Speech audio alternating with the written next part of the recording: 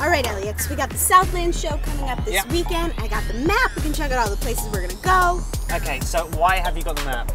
Two things. We've got sat nav in the Durango. Second thing, this is the Chicago neighborhood map, so that's of no help whatsoever. That's true. Okay, so it's so pretty.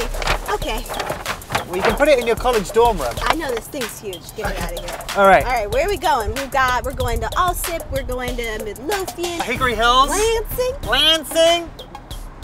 Uh, Well, which one's I miss? Hickory Hills, Lansing, Alsip. Matteson. Matteson! No, is it, said hang on, is it Matteson or Madison? Matteson. Madison's sure? in Wisconsin. Stinky cheeseheads. So anyway, we needed to show some love to the Southland. We, Southland. Southlands. Did you say Southland? We're gonna show the love. We're Okay. headed out. Hickory out. Hills. Okay. All right. Get out of the way, Jordan. We're going. See you guys. See you guys on Sunday at 10. WGN. don't forget to watch. Southland, here we come!